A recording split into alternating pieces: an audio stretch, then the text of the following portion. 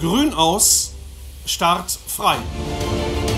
Start ist frei. Drittes Rennen, der Preis von Montemarsan, die Auftaktprüfung zur heutigen V4-Wette, unser erstes PMU-Rennen zugleich. Eins Messi Hasler Jürgen Log, die zwei Horizonte mehr Jan Baas, die drei Waldgeist Michael Nimczyk, die vier Walk of Fame Diamant Markus Bock, die fünf N'oubliez Jamais und Jochen Holzschuh, die sechs Magnum Deliton Bas Krebers, die sieben Sierra S Jos Verbeek und mit der acht Staccato HL und Robin Bott.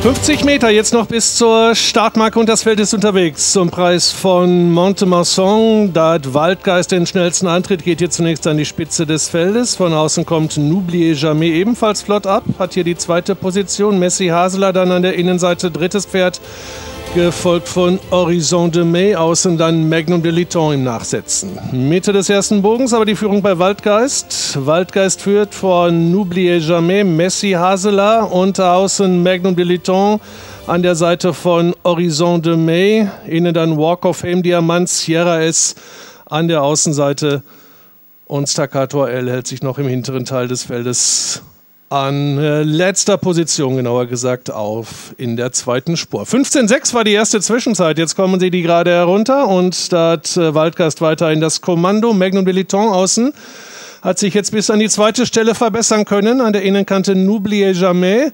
Daneben dann Sierra S mit denen Messi Haseler. Außen daneben jetzt Staccato HL. Vorletztes Pferd ist Horizon de May und die rote Laterne trägt Walk of Fame Diamant. In den Westerlee-Bogen geht's hinein und Waldgeist weiter in Form. Daneben ist Magnum de Liton weiter aufgerückt, der niederländische Derby-Zweite aus dem Jahr 2022 jetzt an der Seite von Waldgeist. Dann das nächste Pärchen N'oubliez Jamais innen, Sierra S außen. Dann wieder ein äh, Couple mit innen Messi Haseler und außen Staccato AL. Und das letzte Duo besteht aus Horizon de May und Walk of Fame Diamant. 18-4 nur die zweite Zwischenzeit. Im zweiten Teil der Gegenseite Waldgeist weiterhin mit außen Magnum de Liton nahezu gleich auf. Innen bleibt N'oubliez Jamais dicht dabei. Daneben hat Sierra S nach wie vor ein schönes Rennen an vierter Position. Wir sind jetzt im Schlussbogen, haben noch 500 Meter bis zum Ziel.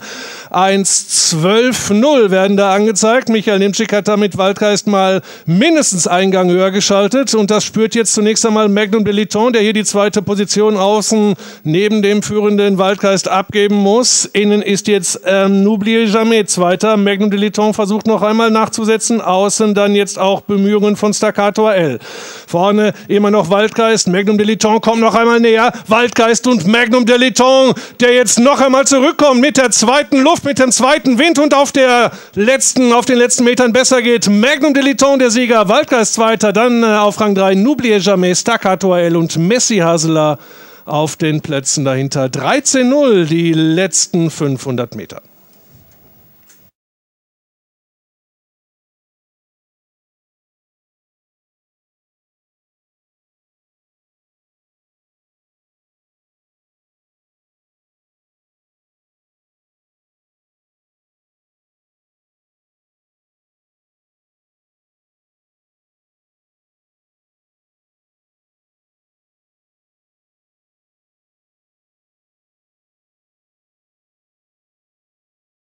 Das vorläufige Ergebnis für das dritte Rennen. Sieger ist die 6 Magnum Diliton mit Bas Krebers. Zweiter wurde die 3 Waldgeist mit Michael Nimczyk und dritter die 5 N'oubliez Jamais mit Jochen Holzow im Sulki. 6, 3, 5. Vierter Platz dann für die 8 Staccato HL und fünfter wurde die 1 Messi Haseler.